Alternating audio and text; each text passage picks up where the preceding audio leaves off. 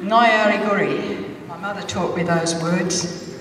It's Bunjalung. It's a country up near the Clarence River, and it means I am Aboriginal. I am a proud Koori person, and I always will be. It says NAIDOC National Aboriginal Islander Day of Celebration, or National Aboriginal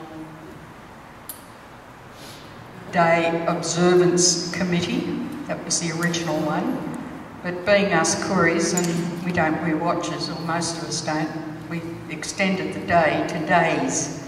And now there's a full week of them, so we, we get quite an enjoyment out of the expos, the health expos, the career expos that are put on by many, many, many different um, semi-government and government organisations. And, you know, I urge you, if you hear of one, go along and have a look, because they quite are, they're very interesting. As a Koori woman, I follow my mother's line. That is a natural progression of Aboriginal way. And she was born up Grafton Way, and consequently, she's Bunjalung. I identify that as my spiritual home.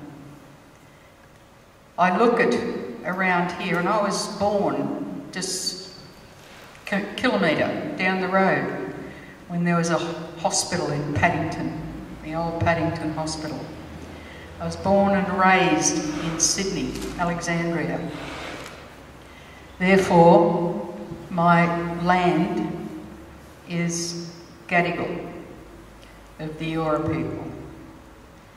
And I'm very proud of the progress that the Gadigal people have done and perpetrated over the last 200 years.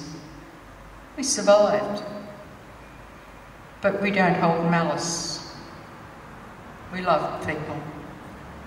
We don't go around with spears throw it at you saying, This is my country. Because this country does not belong to any of us. We're only caretakers. So we're here today, gone tomorrow. What is here is the land. The most important people in our tribal community are our elders. For our elders pass on the knowledge to the people of today, you, all of you.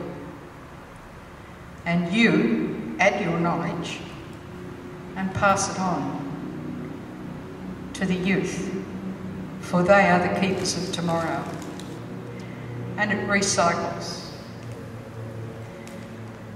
I would like to acknowledge the elders that have done so much for all Aboriginal people, but especially those elders, both past and present, of the Gadigal people on whose land we stand.